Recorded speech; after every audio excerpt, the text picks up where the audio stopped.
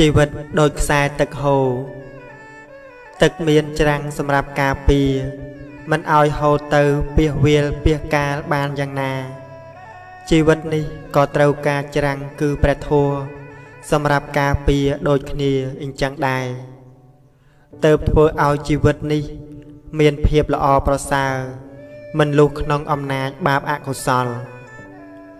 មើលខ្សែទឹកហូរចូលជន់ក្នុងស្ទឹង ភ្នែកប្រឹងសំឡឹងដោយគិតពិចារទឹកហូររិញរិញបណ្ដេញលើគ្នាប៉ះផ្ទប់ថ្មដាបែកទឹកផ្កាត្រែងរលោកធំតូចដងគួចចូលគ្នានាំយកជលសាហូរទៅឯងឯងនេះគឺធម្មជាតិបង្កើតតតែងដងស្ទឹងធំវែងទឹកហូរអត់អាក់ការនេះធ្វើឲ្យគិតដល់ជីវិត កើតមករស់ឋិតនៅក្នុងវត្តដាក់វិលវល់អន្តោលក្នុងសង្សារចៈដោយខ្សែទឹកធ្លាក់ហូរទៅជានិច្ចខ្សែនៃទឹកហូរដូចជាជីវិត ដែលតែងប្រព្រឹត្តក្នុងវត្តដាក់កិច្ចទឹកហូរប៉ះថ្មបែកចូលជន់លិចប្រៀបដូចជីវិតគ្រាជួបឧបសគ្គទឹកហូរហូរទៅទៅកាន់ទន្លេ ហូរទៅយ៉ាងថេរិញរិញអត់អាក់ប្រៀបដូចជីវិតស្ថិតក្នុងវត្តដាក់តែងធ្លាក់ចូលក្នុងធម៌មរណភ័យអនិច្ចំទុក្ខំអនត្តាធម៌នេះ ជាធម៌មានស្រេះនៅក្នុងលោកី មានកិច្ចបំផ្លាញសត្វក្នុងភពត្រៃឲ្យទទួលក្តីវិនិច្ឆ័យអន្តរាយលុះដល់នៅពៀនទៅបានរួចផុត ចាកវត្តសមុទ្រនៃកម្មទាំងឡាយលែងកើតលែងចាស់លែងស្លាប់បែកធ្លាយនៅដោយសបាយក្នុងឋានសុខស្ងប់ ដំណើរនៃខ្សែទឹកហូរក៏ដូចជាដំណើរនៃជីវិតមនុស្សយើងម្នាក់ម្នាក់ដែរជីវិតរមែងមានការបត់បែន នៅក្នុងលំហូរនៃទឹកក៏មានត្រីគ្រប់ប្រភេទហែបហែលបត់ចុះបត់ឡើង ជីវិតមានឧបសគ្គឯទឹកក៏មានផ្ទាំងថ្មដុះនៅពាំងត្រង់កន្លែងដែលទឹកហូរជាផ្លូវនៃលំហូរនៃទឹក ធ្វើឲ្យទឹកវិលច្រាលចុះច្រាលឡើង ទឹកគឺវាឈប់ហូរនៅត្រង់កន្លែងដែលមានទំនាបដក់ទឹកជ្រៅរីឯជីវិតនៅពេលដែលជួបឧបសគ្គក៏ចាំបាច់ត្រូវតែមានមេត្តាធម៌និងបញ្ញា នៅក្នុងចិត្តឲ្យបានច្រើន ដើម្បីរក្សាលំនឹងជីវិត ក្រសែនៃទឹកហូរដែលហូរទៅគ្មានថ្ងៃត្រឡប់វិញប្រៀបដូចជាជីវិត ដែលមានតែថ្ងៃទៅមុខជានិច្ចទឹកផ្ដល់គុណប្រយោជន៍ច្រើនយ៉ាងណាស់ដល់មនុស្សលោក ជីវិតក៏ផ្ដល់ឲ្យនូវគុណប្រយោជន៍ច្រើនយ៉ាងដែរដល់មនុស្សលោកយើង ប្រសិនបើដឹងពីវិធីប្រើ ចំពោះគុណវិបត្តិវិញ ទឹកក៏ជាមេបង្កអន្តរាយមួយដល់កាចសាហាវផងដែរពោលគឺវាអាចសម្លាប់ជីវិតយើងបាន វាដូចគ្នាដែរនឹងមនុស្សមួយចំនួន ដែលប្រើជីវិតក្នុងផ្លូវខុសដោយសេចក្តីប្រមាទហើយសេចក្តីប្រមាទនេះឯងដែលជាមេបង្កអន្តរាយដ៏ពិតប្រាកដរបស់ជីវិត អ្នកប្រមាទទុកដូចជាមនុស្សស្លាប់ សំដូចជាព្រះពុទ្ធភាសិទ្ធ ព្រះអង្គទ្រង់បានសម្ដែងថាបមាតោមច្ចណោបទាំងអ្នកដែលប្រមាថរមែងចូលទៅកាន់ផ្លូវនៃសេចក្តីស្លាប់គ្រប់ជីវិតរស់នៅទាំងអស់អាចត្រូវបាត់បង់ទៅនៅប្រយោជន៍ឬត្រូវអន្តរាយ ត្រឹមតែមួយពព្រិចភ្នែកតែប៉ុណ្ណោះប្រសិនបើនៅតែមានធัวប្រមាថនៅក្នុងសន្តាន ថ្ងៃនេះខ្ញុំបានផ្លាស់ប្ដូរទីកន្លែង ពីជើងភ្នំម្ខាងទៅកាន់ទីកន្លែងមួយទៀតជាកន្លែងដែលមានសម្រស់ធម្មជាតិមិនសូវជាចាញ់គ្នាប៉ុន្មានផងដែរទេខ្ញុំបានអែបទៅឈរនៅច្រាំងម្ខាងនៃមាត់ស្ទឹង នៅទីនោះសម្បូរទៅដោយផ្ទាំងថ្មធំធំជាច្រើន ក្នុងនោះមានដូចជាថ្មដាដែលជាថ្មពប្រាស់ទឹកតម្រៀបគ្នាជាជួរជាជួរនិងជាពិសេស ព្រៃព្រឹក្សាដ៏ធំល្វឹងល្វើយដោះអមសងខាងមាត់ស្ទឹង ភ ធ្វើឲ្យស្ទឹងคล้ายទៅជាស្ទឹងបៃតង បានឃើញកាលណា ដួងចិត្តរំជើបរំជួលត្រែកត្រអាលផ្លើតផ្លើនស្ទើភ្លេចភ្លាំងស្មារតីខ្លួនខ្ញុំដូចត្រូវទេពមុនសណ្ដំដួងចិត្តអញ្ចឹងឯងខ្ញុំបានស្ដាប់សំឡេងទឹកហូរស្ដាប់សំឡេងបាក់សៃបាក់សាស្រែកយំខ្ញៀវខ្ញា និងស្នូតង្កិចគ្នានៃស្លឹករុក្ខជាតិទាំងឡាយសែនពីរោះរំដំ នៅឯលើវេហាវិញ ផ្ទៃមេឃក៏កំពុងតែបដូរពណ៌បដូររស្មី តម្រូវទៅតាមពេលវេលានៃសាយនហសម័យខ្ញុំបានសម្លឹងមើល ទៅអ្នកអមទូកមួយគូដែលកំពុងបោលប្រណាំងប្រជែងគ្នា ពេលខ្លះក៏អមពេលខ្លះក៏ឈប់ ខ្ញុំសម្លឹងមើលទូកតូចតូចមួយគូនេះធៀបគ្នាជាមួយនឹងស្ទឹងដ៏ធំសែនធំ ទឹកស្ទឹងមិនដែលធ្លាប់ឈប់ហូរសូម្បីតែមួយវិនាទី វាបានហូរអស់រយៈពេលជាច្រើនរយឆ្នាំណាស់មកហើយ ការនេះធ្វើឲ្យខ្ញុំអត់ទ្រាំមិនគិតដល់ជីវិតមនុស្សមិនបាន ជីវិត នៅពេលខ្លះគឺមិនខុសអ្វីពីក្រសែទឹកសោះឡើយ មិនខុសពីក្រសែទឹកដែលហូរធ្លាក់ចូលទៅកាន់ទន្លេ ដូចជាសេចក្តីស្លាប់ ដែលត្រូវបានគេចាត់ទុកថាជាទន្លេនៃជីវិតនេះឯងហើយរាល់រាល់តែជីវិត គឺវាត្រូវតែហូរចូលទៅរួមគ្នានៅក្នុងទីនោះគ្រាន់តែថាយូរឬឆាប់តែប៉ុណ្ណោះក្រសែទឹកជារបស់មានជីវិត ជាទីឲ្យកំណើតនៃជីវិតច្រើនប្រភេទ ឲ្យមនុស្សគ្រប់រូបបានពឹងពាក់អាស្រ័យបរិភោគនិងប្រើប្រាស់ឲ្យត្រី ក្តាមខ្យងនិងសត្វគ្រប់ប្រភេទតូចធំនៅក្នុងទឹក អាចរស់នៅបាន ដោយហើយសំបីតែដើមឈើនៅទីនោះក៏រស់នៅបានដោយសារការអាស្រ័យទឹកផងដែរទីឋានដែលប្រះចាក់ទឹកក៏ជាទីឋានដែលប្រះចាក់ជីវិត បើមានទឹកល្អសម្រាប់អាស្រ័យជីវិតក៏សុខដុមខ្សែមខ្សានដោយខ្សែទឹកហូរបានប្រាប់យើងច្បាស់ថា នៅអរិយធម៌ដ៏ពិតប្រាកដនៃពិភពលោកយើងនេះខ្ញុំបានចំណាយពេលដើរយ៉ាងយឺតយឺតតាមថ្មដែលដុះនៅតាមមាត់ស្ទឹងមាត់ទឹកដើរខ្លះវាខ្លះតោងខ្លះតាមផ្លូវដែលមានសភាពផ្សេងផ្សេងពីគ្នា ទីបំផុតខ្ញុំក៏បានដើរទៅដល់កន្លែងមួយ ដែលមានផ្ទាំងថ្មធំធំអែបជាប់នៅនឹងមាត់ច្រាំងហើយលយចូលទៅក្នុងស្ទឹងពាក់កណ្ដាលស្ទឹង ការនេះទៅធ្វើឲ្យខ្ញុំអាចមើលឃើញនៅដើមឈើធំធំទាំងឡាយបានយ៉ាងច្បាស់និងលំហូរនៃទឹកស្ទឹងដ៏វែងអន្លាយស្ទើរដាច់កន្ទុយភ្នែក នៅតាមមែកឈើទាំងឡាយដែលលយចូលមកខាងស្ទឹង មានលំអទៅដោយផ្កាប្រងព្រាតលៀនសន្ធឹងអបដោយកន្ធៈពីដោក្រអូបឈ្ងុយឈ្ងប់សពទិសទាំងពួង ដើមខ្លះក៏មានបាក់សៃបាក់សាទុំជ្រោកជាទ្រនំ តាមបណ្ដាមែកតូចធំទាំងឡាយមើលទៅមិនត្រឹមតែស្រស់ស្អាតប៉ុណ្ណោះទេ គឺពោពេញទៅដោយភាពអ៊ូអរទៀតផង ភាពស្រស់ស្អាតទាំងអស់នេះ គឺវាបានបង្កើតឲ្យមាននៅសេចក្តីសុខដ៏ក្រៃលែងជាសេចក្តីសុខដែលកើតអំពីសន្តិភាពនៃធម្មជាតិមនុស្សបានបោះបង់ចោលនៅធម្មជាតិហើយព្យាយាមលើកដំកើងនៅខ្លួនឯងមិនត្រឹមតែបោះបង់ប៉ុណ្ណឹងទេថែមទាំងកាប់បំផ្លាញចោលទៀតផង ដូចជាភ្នំត្រូវคล้ายទៅជាទីវាលដីរាបស្មើ ហើយឯព្រៃក៏ត្រូវคล้ายទៅជាទីវាលលហលហេវ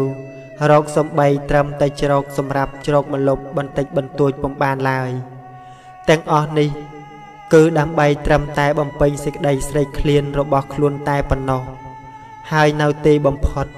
ធម្មជាតិក៏ចាប់ផ្ដើមដាក់ទោសមនុស្សវិញពោលគឺប្រៃអស់ភ្នំត្រូវរលាយ ធម្មជាតិទាំងឡាយត្រូវខ្សែសូនសង្ខារបណ្ដាលឲ្យកើតទៅជាទឹកចំនួនធំធំឯអាកាសក៏ក្តៅហួតហែងខ្យល់ព្យុះបោកបក់ខ្លាំងខ្លាំងជាញឹកញាប់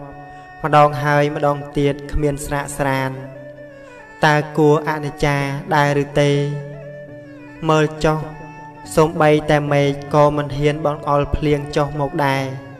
ព្រោះខ្លាចចំពោះទង្វើដ៏អាក្រក់របស់មនុស្ស ធ្វើចំពោះខ្លួន យើងសង្កេតឃើញ ដីចាប់ផ្ដើមប្រេះបែកក្រហែងឯភាពរាំងស្ងួតក៏ចេះតែប្រកបឡើង ហើយភពផែនដីទាំងមូលក៏ចាប់ផ្ដើមក្តៅទៅក្តៅទៅជាលំដាប់ ដំណើរគ្នានេះដែរក៏មានមនុស្សមួយចំនួនចាប់ផ្ដើមអនុវត្តតាមផ្លូវព្រះធម៌ដោយការរស់នៅស្របតាមធម្មជាតិ ពោលគឺចាប់ផ្ដើមឲ្យតម្លៃធម្មជាតិឡើងវិញ តែគួរឲ្យអនិច្ចាតើមានមនុស្សប៉ុន្មានអ្នកទៅណដែលអាចយល់បានដល់ត្រង់ចំណុចនេះខ្ញុំសូមអនុមោទនាត្រេកអរចំពោះម្រាមដៃរបស់សាធុជនទាំងឡាយណា ដែលបានលោកចាប់យកនៅកូនឈើតូចតូចមកដាំបណ្ដោះសូមឲ្យយើងទាំងអស់គ្នាខំប្រឹងប្រែងជួយគ្នាឡើង មេត្តាកុំបណ្ដោយឲ្យភពផែនដីនេះស្រែកត្រហោយំឡើយឥឡូវនេះព្រះសូរិយាទុនទេ ជ្រេទៀបណាស់ទៅហើយរស្មីដ៏ស្រាលស្រទន់បានជះទៅត្រូវខាងមកខាងនៃដើមរុក្ខជាតិទាំងឡាយទុកឱកាសឲ្យខ្ញុំបានចូលទៅអង្គុយនៅខាងក្រោមនៃម្លប់ឈើនោះខ្ញុំអង្គុយដោយស្ងៀមស្ងាត់តែម្នាក់ឯង ហើយសម្លឹងមើលទៅខាងមកខាងនៃស្ទឹង នៅក្នុងស្ទឹងមានទូកចម្លងជាច្រើន កំពុងដឹកអ្នកដំណើរឆ្លងពីត្រៃអាយទៅកាន់ត្រៃនាយការនេះធ្វើឲ្យខ្ញុំគិតប្រៀបធៀបថា ស្ទឹងមានច្រាំងឯជីវិតក៏ចាំបាច់ត្រូវតែមានទិសដៅដ៏ពិតប្រាកដមួយមេគានៃជីវិតក៏មិនខុសអ្វីពីទូកដែលអ្នកកំពុងអុំ អុំឆ្លងច្រាំងនោះដែរឧបសគ្គនៃជីវិតក៏មិនខុសអ្វីពីអន្តរាយទាំងឡាយ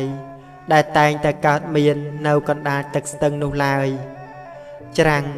គឺជាទីតាំងដ៏មានសារៈសំខាន់សម្រាប់ទឹក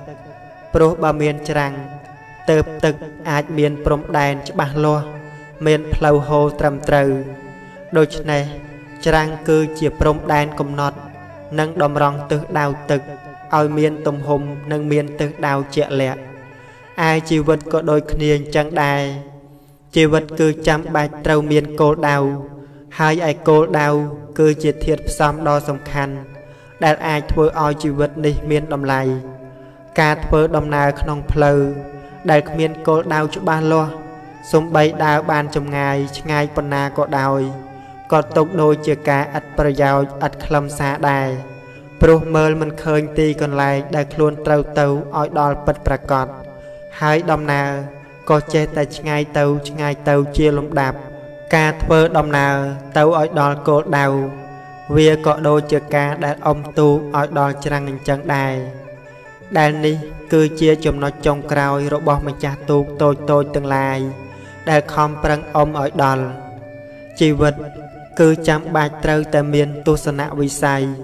ដើម្បីកំណត់គោលដៅឲ្យច្បាស់លាស់ព្រោះបើមិនដូច្នេះទេ ជីវិតក៏នឹងត្រូវវិលវល់អន្ទោលទៅអន្ទោលមកដដែលដដែលគ្មានទីបញ្ចប់ឡើយសំដូចព្រះពុទ្ធទ្រង់ត្រាស់សម្ដែងថាយប់យូរសម្រាប់អ្នកដេកមិនលក់យោជដាច់ស្រយាលសម្រាប់អ្នកស្បាយកម្លាំងហើយវត្តដ៏សង្សារវែងឆ្ងាយសម្រាប់បុគ្គលពៀល ទាំងមិនដែលដឹងច្បាស់នៅព្រះសទ្ធមខ្ញុំបានសម្លឹងទស្សនា នៅរាល់សម្រស់ធម្មជាតិទាំងឡាយ ដោយក្តីរីករាយនិងសោមនស្សអស់ពីដួងចិត្តព្រោះតែមើលឃើញនៅគុណប្រយោជន៍ដ៏ច្រើនសន្ធឹកសន្ធាប់នៃធម្មជាតិទាំងអស់នោះហើយក៏សម្លឹងមើលផងដែរនៅរាល់កលបិចកិច្ចលបួងដ៏សែនអាក្រក់នៃវត្តដាក់ជីវិតនេះ ដែលទាំងអស់នេះ គឺជាលក្ខណៈដើមនៃច្បាប់របស់ធម្មជាតិពិតពិតមនុស្សដែលទទួលបាននៅសេចក្តីទុក្ខក៏ព្រោះមនុស្សចង់យកឈ្នះនៅលើធម្មជាតិពេលបានយកជ័យជំនះលើធម្មជាតិហើយក៏ត្រេកត្រអាលផ្លើតផ្លើន តែគេបែរជាភ្លេចគិតថាវត្ថុធាតុដែលគេទទួលបានបន្តិចបន្តួចមកនោះ វាបានទៅបំផ្លាញនៅវត្ថុធាតុធម្មជាតិជាច្រើនផ្សេងផ្សេងទៀតឲ្យសាមសូន្យឲ្យវិនិច្ឆ័យអន្តរាយ និងអន្តរធានទៅតើដឹងដែរទេសកម្មភាពទាំងអស់នេះវាបានធ្វើឲ្យប៉ះពាល់ដល់ធម្មជាតិប៉ុណ្ណា វាក៏ដូចគ្នានឹងទឹកយ៉ាងនឹងដែរខ្សែទឹកដូចជាខ្សែជីវិត ប្រសិនបើយើងធ្វើឲ្យទឹកស្អុយឬខូច ក៏ដូចជាធ្វើឲ្យជីវិតយើង ស្អុយឬខូចដូចគ្នា ទាំងអស់នេះ គឺមានន័យថា មនុស្សបានធ្វើឲ្យជីវិតខ្លួនដើរដល់ផ្លូវទាល់ច្រកមួយពោលគឺជាការបំផ្លាញខ្លួនឯងឲ្យវិនិច្ឆ័យអន្តរាយមនុស្សយើងគឺចូលចិត្តធ្វើអ្វីដែលបៀតបៀនខ្លួនឯងខ្លាំងណាស់ខ្ញុំតែងតែគិតនៅក្នុងចិត្តជារឿយរឿយថាជីវិតដែលយើងបានមកនេះ គឺជាជីវិតដែលត្រូវសាបសូន្យទៅ គឺមានន័យថាជីវិតបានមកដំណើរគ្នានឹងការបាត់បង់ទៅវិញ មនុស្សលោកទាំងឡាយក្នុងសម័យកាលនេះ តែងមានអំនួតអួតអាងថា គេជាមនុស្សទំនើបកម្មជាមនុស្សអភិវឌ្ឍជាមនុស្សដែលនាំឲ្យពិភពលោក បាននៅសេចក្តីចម្រើនរុងរឿងឲ្យទាន់សម័យឲ្យជាពិភពលោកមួយ ដែលទាន់សម័យហួសព្រំដែន ការធ្វើដូច្នេះគឺវាដូចជាការបំផ្លាញនៅពិភពលោក ជាការបំផ្លាញឲ្យពិភពលោកទាំងមូលនេះคล้ายទៅជាពិភពលោកមួយ ដែលគ្មានព្រំដែន និងគ្មានច្រាំងសម្រាប់ការពារសូម្បីទឹកស្ទឹងទន្លេសមុទ្រក៏វាមានច្រាំងរបស់វាដែរដើម្បីទប់ទឹកមិនឲ្យហូរលហលហាចទៅពះវាលពះកាលបានឥឡូវនេះ ពិភពលោកកំពុងស្ថិតនៅក្នុងដំណាក់កាលមួយ ដែលគ្មានព្រំដែនគ្មានអ្វីដើម្បីការពាររារាំងហើយសម្លឹងរកមើល មិនឃើញត្រៃនាយត្រៃអាយតលតែសោះពិភពលោកដែលរីកចម្រើននេះ ជាពិភពលោកគ្មានព្រំដែនគ្មានច្រាំងគ្មានគ្រឿងការពារនោះបានសេចក្តីថាជាការរីកចម្រើន ដែលប្រះចាកក្រមសិលធម៌និងគុណធម៌ ខ្ញុំបានដើរត្រឡប់ទៅកាន់កន្លែងស្នាក់នៅឯជើងភ្នំវិញដោយទឹកចិត្តសោមនស្សស្រស់បំប្រងរងថ្លាសស្អាត បរិសុទ្ធឥតមកសៅទោះណាជាមានរឿងហេតុជាច្រើនត្រូវគិត ជាមួយនឹងជីវិតនេះក៏ដោយព្រោះខ្ញុំបានគិតដោយសេចក្តីសុខស្ងប់ និងពិចារណាឃើញដល់សារៈប្រយោជន៍នៃធនធានធម្មជាតិដែលជាគ្រូដ៏ចម្បង និងដ៏ធំបំផុត ធម្មជាតិនេះហើយ ដែលជាគ្រូដ៏ធំ ហើយក៏ជាគ្រូដំបូងបំផុតរបស់ព្រះសម្មាសម្ពុទ្ធព្រោះហេតុនោះទៅការត្រាស់ដឹងរបស់ព្រះអង្គមិនជាអ្វីដតីក្រៅតែពីការត្រាស់ដឹងនៅធម្មជាតិនេះឡើយព្រះអង្គទ្រង់បានរកឃើញនៅមូលហេតុនៃសេចក្តីទុក្ខនិងវិធីរំលត់ទុក្ខព្រះអង្គទ្រង់សិក្សាយ៉ាងច្បាស់ នៅធម្មជាតិនៃការកើត ការចាស់ការឈឺនិងការស្លាប់ ជាអនិច្ចំទុក្ខំនិងអនត្តា ហើយលើសពីនេះទៅទៀតព្រះអង្គទ្រង់ជ្រាបយ៉ាងច្បាស់ថា ការឧបតិកើតឡើងជាការបញ្ចប់ទៅនៃជីវិតនេះ គឺមាននៅក្នុងធម្មជាតិនេះឯងខ្សែទឹកគឺជាខ្សែជីវិត ហើយវត្តដាក់ជីវិត គឺជាវត្តដាក់នៃធម្មជាតិ ដែលមានការកើតនិងការរលត់ទៅគ្មានទីបំផុត កាលបើបានយល់ដល់ត្រង់ចំណុចនេះហើយ យើងពិតជាអាចស្វែងរកនៅឧត្តមភាព នៃឋានបរមសុខឲ្យដល់ជីវិតបានជាក់ជាមិនខានឡើយនេះគឺជាសច្ចភាពនៃជីវិតដែលមិនអាចប្រកែកបានជីវិតសត្វលោកកើតមកគ្រប់គ្នា ដោយកម្មវេរីសាងគ្រីអតីត រស់រងក្តីទុកក្នុងលោកភព3ផលកម្មអប្រ័យកែច្នៃជីវិតរស់រងតែកម្មចាំជាប់កំណើត តាំងពីកាលកើតគឺកម្មវិចិត្រចាត់ចែងរៀបចំចងក្រងឲ្យថិតរស់មានជីវិតចេះគិតចេះឆ្នៃ ធម្មជាតិបង្កើតឲ្យមានជីវិត ធម្មជាតិប្រឌិតរឿងលខោនលោកី ធម្មជាតិសាងកម្មប្រចាំខែថ្ងៃធធម្មជាតិកែច្នៃឲ្យសុខនិងទុក្ខធម្មជាតិតតែងសត្វនិងសង្ខារកសាងវាសនាសត្វក្នុងភព ធម្មជាតិសាងប្រានឲ្យខុសគប់ធម្មជាតិគូគប់នៃជីវិត ដូច្នេះជីវិតគឺជាច្បាប់ធម្មជាតិគ្រប់យ៉ាងដែលមាននៅក្នុងជីវិត ក៏ជាអ្វីដែលមាននៅក្នុងធម្មជាតិនេះឯងខ្ញុំបាននិយាយប្រាប់ម៉ែថា ថ្ងៃនេះខ្ញុំសូមអនុញ្ញាត អធិប្បាយអំពីជីវិតខ្លះខ្លះឲ្យម៉ែស្ដាប់ អធិប្បាយទៅតាមទស្សនៈនៃការយល់ឃើញរបស់ខ្លួន ដើម្បីឲ្យម៉ែបានវិនិច្ឆ័យនិងកែតម្រូវត្រង់ចំណុចខ្លះដែលពុំទាន់មានភាពត្រឹមត្រូវខ្ញុំបានប្រាប់ម៉ែថា ជីវិតគឺជាការវង្វេងវង្វាន់ភ័ន្តភាំងតាំងពីកំណើតមកម្លេះហើយក៏ជារបស់ដែលកំណត់រកដើមដំបូងនិងទីបំផុតមិនបានផងដែរយើងជានរណាមកពីណាមកធ្វើអ្វី យើងពិតជាពុំអាចឆ្វេងយល់ដល់ត្រង់ចំណុចនេះបានប៉ុន្តែមានតែភាព ជាសាច់សាលោហិតនឹងគ្នាតែប៉ុណ្ណោះ ដែលធ្វើឲ្យយើងមានអារម្មណ៍ថា ត្រូវការគ្នា ស្រឡាញ់រាប់អានគ្នានិងមាននៅភាពមេត្រីស្វាមីភក្តិចំពោះគ្នាទៅវិញទៅមក សម្រាប់ម៉ែខ្លួនឯងក៏មិនដឹងសោះថា អ្នកដែលមកចាប់កំណើត នៅក្នុងផ្ទៃពោះនេះតើមកពីណា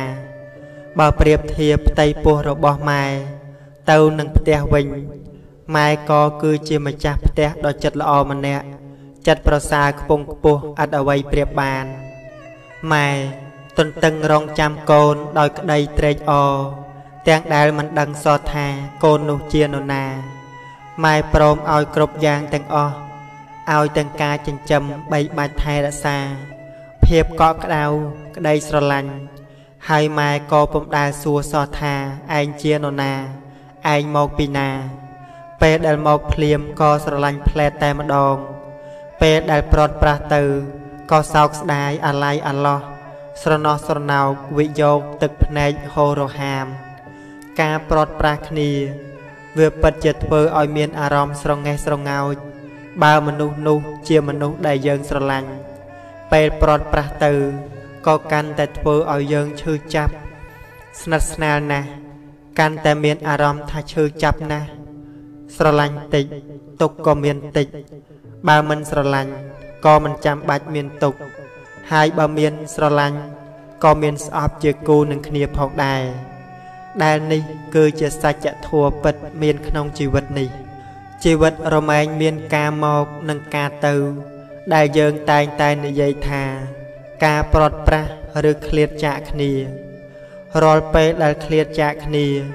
ធ្វើឲ្យមានអារម្មណ៍ថាមានភាពខុសប្រក្រតីយើងសាកគិតទៅមើលសូម្បីត្រឹមតែជាការឃ្លាតចាកស្រុកកំណើតធម្មតា ហើយដឹងថាមិនយូរប៉ុន្មាននឹងត្រូវត្រឡប់មកជួបគ្នាវិញក៏នៅតែមានការអាឡោះអាល័យស្រងេះស្រងោចខ្លោចចិត្តនឹកគិតបារម្ភគ្នាចោះទម្រាំតែជីវិតដែលត្រូវឃ្លាតទៅដោយគ្មានថ្ងៃវិលត្រឡប់វិញ តើវានឹងទៅជាយ៉ាងណាវិញដែរទៅ នេះគឺជាគំនិតពិចារណារបស់ជនមួយចំនួន ដែលតែងតែសិក្សានិងតាមដាននៅធាតុពិតនៃជីវិតនេះព្រមទាំងតាមសង្កេត តាមពិនិត្យប្រកបដោយយោនិសោមនសិការៈតាមពិតទៅនោះ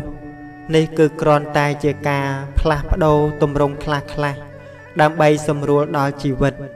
នៅពេលដែលវាទៅភពប្រសពជាមួយនឹងហេតុការណ៍ដ៏អាក្រក់ឬក៏ទុកទោសទាំងឡាយវាដូចជាការដែលផ្លាស់ពីដេកមកដើរឈរទៅអង្គុយជាដើម មិនឲ្យជីវិតនៅដដែលដដែលដែលភាពដដែលដដែលនេះ គឺដាវដល់សេចក្តីស្លាប់ព្រោះបាត់បង់សកម្មភាពលែងមានការដកដង្ហើមចេញចូលសេចក្តីស្លាប់នេះគឺជាជំរើសដ៏ល្អបំផុត ដែលធម្មជាតិបានប្រគល់មកឲ្យ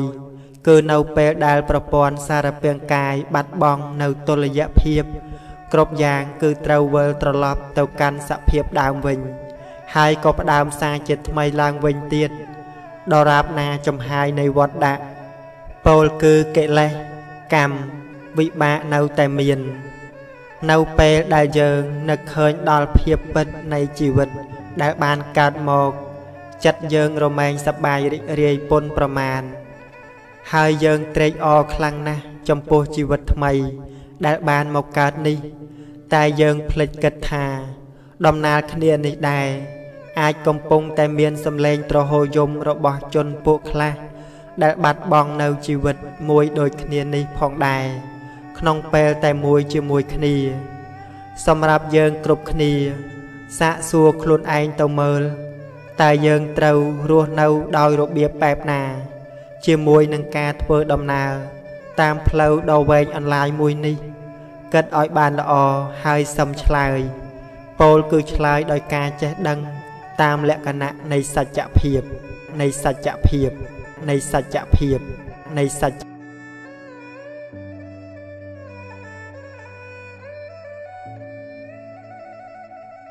នៅក្នុងចិត្តយើងដែលបានឆ្នៃល្អហើយគឺមានតម្លៃថ្លៃថ្លា